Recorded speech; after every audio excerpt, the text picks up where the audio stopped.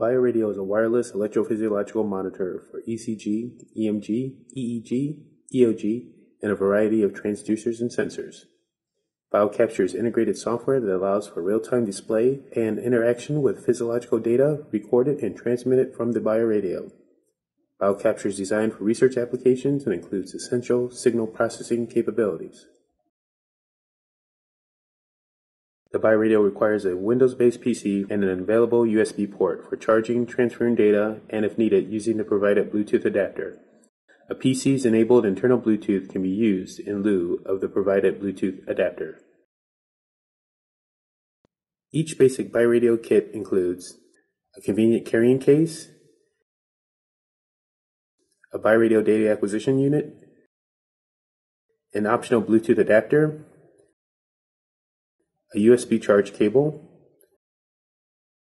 10 snap electrode lead wires, a disposable supply kit that includes gauze, medical tape,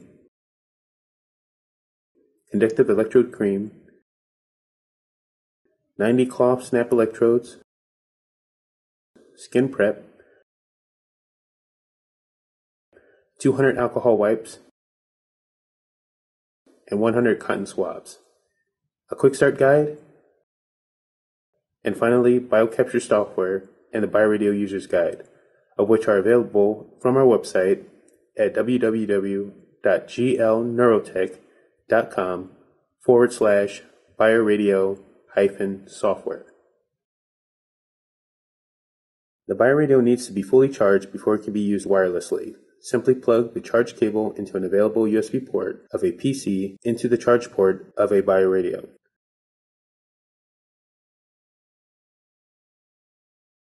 A full charge takes approximately 3 to 4 hours to complete.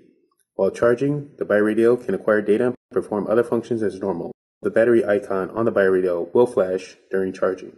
When the BioRadio is fully charged, all of the battery's bars will flash. The BioRadio communicates wirelessly using Bluetooth connectivity. If your PC has Bluetooth, simply ensure that it is on. To check for an internal Bluetooth device, simply look for a Bluetooth icon in the system tray of your PC's operating system. If your PC does not have Bluetooth, simply use the included Bluetooth adapter. Plug it into any available USB port for automatic installation. BioCapture software can be downloaded from our website at www.glneurotech.com forward slash bioradio hyphen software. Within the downloaded zip file is setup.exe. Simply double click on setup.exe for guided software installation.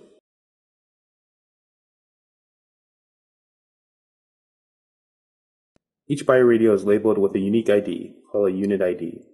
The unit ID is printed on the back of each BioRadio.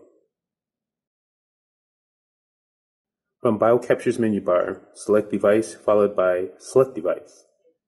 Select your BioRadio unit ID from the list of unit IDs and press Connect. The software and your BioRadio are now wirelessly connected, and your BioRadio is now ready to receive programming instructions from BioCapture software. The BioRadio can be tailored to receive a variety of signals directly from a subject's body or from a sensor, such as a skin temperature probe or pulse oximeter. Before acquiring data, it is necessary to tailor or configure BioRadio input channels accordingly. While wirelessly connected, press Device Config from the menu bar. From the Device Config window, you can configure the BioRadio for either differential or single-ended channels. Enable, name, and set the resolution for each enabled channel, and set the sampling rate for all enabled channels. When you are finished with configuration settings, press Config, and the BioRadio and the software's display plots will be configured according to those settings. With the BioRadio connected and now programmed, you can begin to acquire and save data. Press the green Start Acquisition icon to start collecting data. And when ready, press the red Record button to record a file and to start saving data to that file.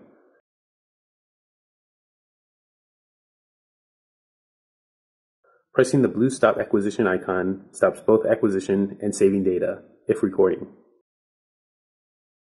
For further help setting up the BioRadio, please refer to the main BioRadio product webpage at www.glneurotech.com forward slash BioRadio and press the Support tab on the navigation bar. There you'll find the complete BioRadio user guide, application-specific quick notes, a video library including application-driven webinars, and an online chat. You can also email support at glneurotech.com or call with support questions.